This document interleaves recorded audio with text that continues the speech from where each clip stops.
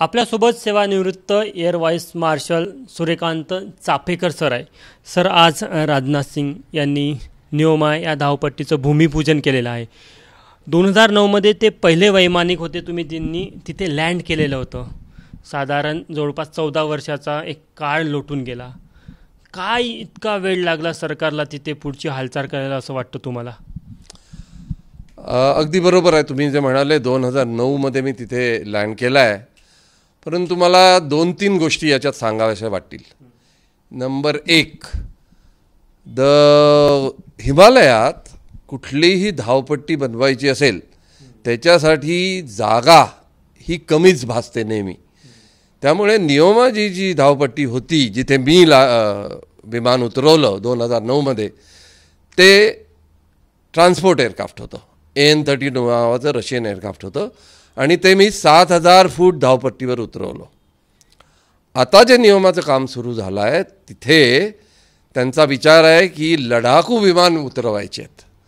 आणि लढाखू विमानांना जर तेरा हजार पाचशे फूट त्याची उंची आहे त्या धावपट्टीची तर तेरा हजार पाचशे फूट उंचीवर जर लढा लढाऊ लि- विमानांना उतरायचं असेल तर साधारण नऊ हजार किंवा नऊ हजारपेक्षा जास्त अशी र- धावपट्टीची लांबी आपल्याला लागणार आहे.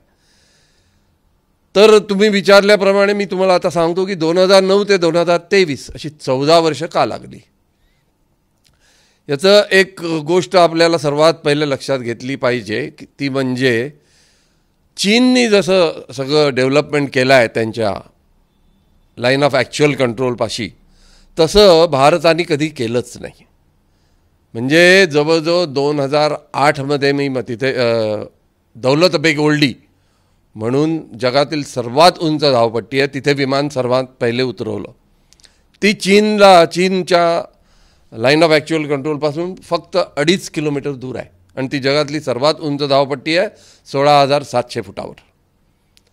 त्यानंतर मी दुसरी धावपट्टी परत ऑपरेशनलाइज केली. ती म्हणजे फुकचे. फुकचे धावपट्टी ही गलवान जे प्रसिद्ध झाला आहे त्याच्या दक्षिणेला आहे आणि सिंधू नदीच्या खोऱ्यात आहे. त्यामुळे तिथे त्याची उंची चौदा हजार पाचशे फूट आहे.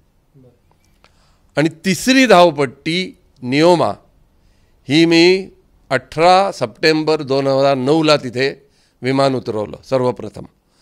तर आज जे तिथे आपले डिफेन्स मिनिस्टर गेले रक्षामंत्री गेले आणि त्यांनी तिथे इनॉगरेशन केलं की नवीन धावपट्टी बनवायची.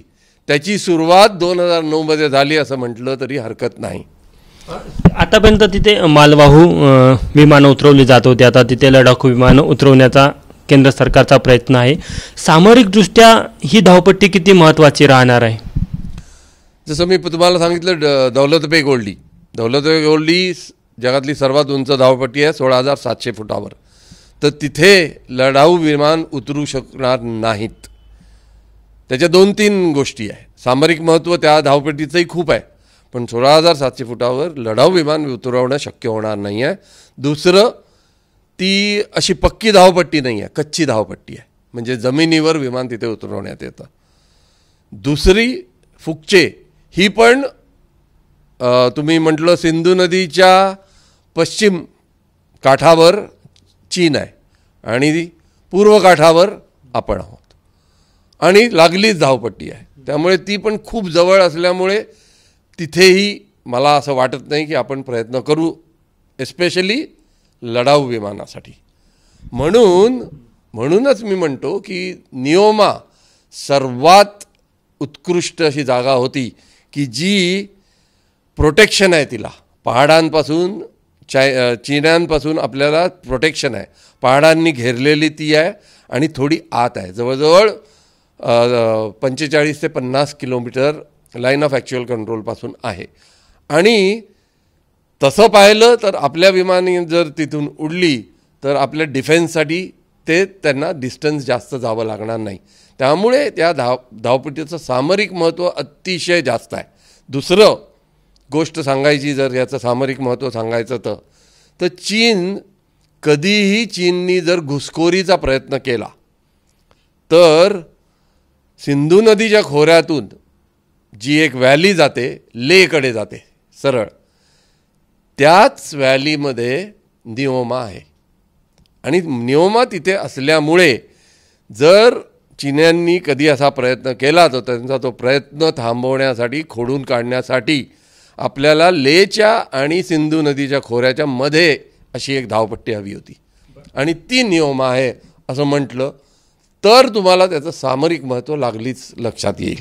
त्याच्या निर्मितीची जबाबदारी आहे ती बी आर ओकडे आहे. बी आर ओसाठी किती चॅलेंजिंग असणार आहे? कारण की तिथलं वातावरण असेल तिथले पहाडं असेल ट्रान्सपोर्टेशन असेल या सर्व गोष्टी विचार करता. चॅलेंजेस तर खूपच जास्त आहेत. म्हणजे नागपूर मुंबई किंवा पुण्याला धावपट्टी बनवणं आणि हिमालयात धावपट्टी बनवणं याच्यात जमीन आसमांतराचा फरक आहे. प्रमुख कारणं काय? तर तिथे फक्त सहा महिनेच काम होऊ शकतं. कारण बाकी सहा महिने शून्याच्या खाली उणेमध्ये तापमान असतं. त्यामुळे सिमेंट असो किंवा तुम्ही डांबर यूज केलं तरी ते वाळत नाहीत त्यामुळे सहा महिनेच त्यांना कामाचं टाईमलाईन मिळेल असं म्हणता येईल. दुसरी गोष्ट नियोमा जे आहे ते एका सिंधू नदीच्या अगदी जवळ आहे. आणि मी जेव्हा तिथे लँड केलं होतं तेव्हा हाच प्रमुख रोडा होता असं म्हटलं तरी चालेल. कारण डी बी ओची जमीन जमीन जमीन असली तरी त्याच्यावर रोलर चालवून त्याला कॉम्पॅक्ट करण्यात आलं. फुकचेलाही तसंच करण्यात आलं. पण इथे ते नदी किनारी असल्यामुळे तिथे सगळी वाळूच वाळू आहे. त्यामुळे आर बी एक्स एटीन म्हणून एक पदार्थ मिसळण्यात आला सिमेंटसारखा आणि वरचा स्तर फक्त कडक करण्यात आला. तर आता तिथे धावपट्टी बनवायची पक्की तर ती त्या रेतीच्यामुळे बऱ्याच डिफिकल्टी येणार. दुसरं नदीचं पात्र अगदी जवळ आहे. त्यामुळे नदीपासून थोडं दूरही ते बनवावं लागेल. कारण कधी फ्लडिंग झालं कधी पूर आला तर धावपट्टीला नुकसान होऊ नये म्हणून. तिसरी गोष्ट ते तेरा हजार पाचशे फुटावर आहे. तिथे काम करणारे मजूर जे मजूर इथे आपल्या प्रदेशात काम करतात स समजा महाराष्ट्रात काम करतात ते तिथे कामच करू शकत नाही. कारण तिथे ऑक्सिजनची कमी आहे. ऑक्सिजनची कमी असल्यामुळे काम करायला तिथे भयंकर कष्ट पडतात. बी आर ओ म्हणजे बॉर्डर रोड ऑर्गनायझेशन ही एकच संस्था अशी आहे की ती हिमालयात रस्ते असो धावपट्ट्या असो त्यांचं स्पेशलायझेशन आहे. त्यामुळे तुम्ही पाहाल की तिथे ज्या धावपट्टी बनवण्याचं कार्य आहे ते नेहमी बी आर ओलाच देण्यात येतं. साधारण किती वेळ लागेल असं वाटतं? म्हणजे सहा महिन्याचा काळ जरी सोडला आपण हिवाळ्यातला तरी किती वेळ लागेल असं वाटतं तुम्हाला? मी असं ऐकलं आहे त्यांनी सांग म्हटलं आहे की दोन वर्षात आम्ही पूर्ण करू.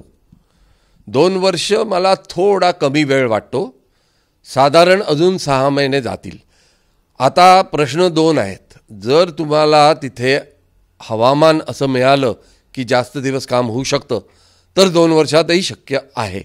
परंतु जर शून्याच्या खाली वा तापमान राहिलं तर तेव्हा तुम्हाला बाकी काम करता येतं. म्हणजे गिट्टी पसरवता येते सगळं पण डांबर किंवा सिमेंट वापरता येत नाही. आता त्याचं सामरिक महत्त्व इतकं जास्त आहे आणि आपण जवळजवळ तेरा चौदा वर्ष काही करू शकलो नाही आहे. त्यामुळे वॉर फुटिंगवर काम होणार हे नक्की. आणि दोन वर्षात ते शक्य आहे. परंतु मला असं वाटतं की अडीच वर्ष तरी त्यांना द्यावे लागतील. तेव्हाच हे काम पूर्ण होईल. कारण नऊ हजार फूट रनवे बनवायचं आहे आणि मी तुम्हाला तिथलं वातावरण हवामान तिथे सतत चेंज होणारं वेदर याच्याबद्दल सांगितलंच. तर तेही थोडे कष्ट त्यात येतील. हे बनवताना पण बी आर ओ अशा वातावरणात काम करण्यात अतिशय उत्कृष्ट अशी ऑर्गनायझेशन आहे. त्यामुळे ते काम चांगलं करतीलच याची मला खात्री आहे. मला एक सांगा की जर आपण चीनचा विचार केला तर मागच्या तीस चाळीस वर्षापासून ते सीमावर्ती भागामध्ये बांधकामाची निर्मिती करत आहे. आपण त्या काळामध्ये त्याकडे लक्ष दिलं नाही. आपण खूप उशीर केला हे काम आपण जर का ऐंशी या नव्वदच्या दशकातही करू शकलो असतो? तुम्ही म्हणताय ते अगदी नक्कीच आहे. पण काय झालं एकोणीसशे बासष्टमध्ये जो आपला पराभव झाला तिथे त्या पराभवाचं भूत आपल्या मानगुटीवर बसलेलं होतं. आणि जे सरकार इतके दिवस होतं त्यांनी तर नक्की असं ठरवलंच होतं की पाकिस्तान सेंट्रिक ते जास्त होते. म्हणजे ते पाकिस्तानकडेच बघत होते. चायनाच्या तिथे डेव्हलपमेंट काही करावं हे त्यांना कधी मनात आलं आलं असलं तरी त्यांनी टाळलं कारण मी हे तुम्हाला सांगितलं जरा त्यांचं चायनाबद्दल घाब अशी जी त्यांच्याकडे पाहण्याची दृष्टी होती तो फार मोठा देश आहे फार बलाढ्य आहे अशा दृष्टीनेच पाहत होतो. त्यांनी चायनानी जर तुम्ही बघितलं चीन्यांनी तिथे नुसतं रस्त्यांचं जाळं पेरलं आहे लाईन ऑफ ॲक्च्युअल कंट्रोलजवळ त्यांच्या भागात आणि रेल्वे लाईनसुद्धा तिथे पोचवल्यात. रनवे बनवल्यात. पण देरसे आहे दुरुस्त आहे असं म्हणावं लागेल. कारण दोन हजार आठमध्ये मी डिबिओला लँड झालो. दोन हजार आठ नोव्हेंबरमध्ये फुकचे मी उघडलं. आणि दोन हजार नऊ सप्टेंबरमध्ये मी नियोमाला लँड केलं. शेवटला प्रश्न म्हणजे नियोमाचा ती मुमेंट जेव्हा तुम्ही तिथे लँड झाले ते विमान कोणतं होतं ना तो क्षण कसा आजही तुमच्या डोळ्यासमोर येतो? विमान जसं मी सांगितलं ते मालवाहू विमान होतं ए एन थर्टी टू त्याचं नाव होतं आणि ते रशियन विमान होतं. आणि धावपट्टी तिथे नव्हतीच अजिबात. तर मला आणि माझ्या सहकाऱ्यांना पहिले कुठे धावपट्टी बनवता येईल हे पाहावं लागलं. म्हणजे त्याचं पूर्ण प्लॅनिंग करावं लागलं.